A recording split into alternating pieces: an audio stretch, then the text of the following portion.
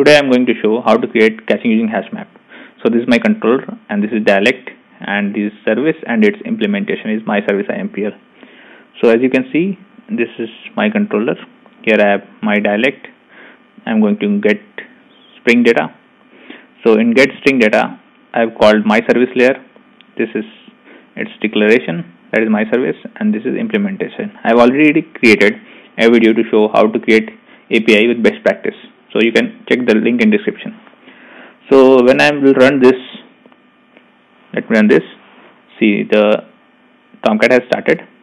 And this is the thing which will come when I'm going to hit this URL this is the URL of my API see it is coming hello world with best practice. Okay let me go to the Eclipse now. So here I'm going to maintain caching using HashMap so maintain caching mechanism. And I'm writing if and let me first create a package. I will create a package with name as com.practice.demo.constants and in this package I will create a class.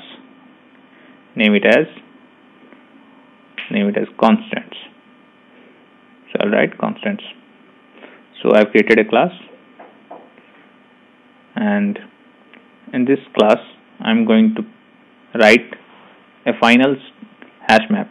So I'll write public static final and I'll call map from java.util with key as string. And let's keep value as string also.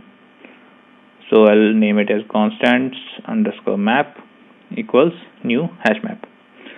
So I've created a constant hash map. And through this we will create caching mechanism. So I'll write constants dot map. If this is null that is the key which we are getting is null. So I'll name the key my my data. So if if equals null let's keep it as equals null. If my data of constant map is null then we are simply going to put the value in this key. So I'll write constant that is the class with the static constant map and I'm going to put the key as my data and value. Let's keep the value as data set in constant. Okay. Let's create the else part. Let me provide the curly braces also. So I'm going to provide curly braces. And in the else part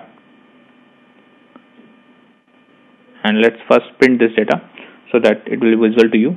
So I'm going to print the data in the constant.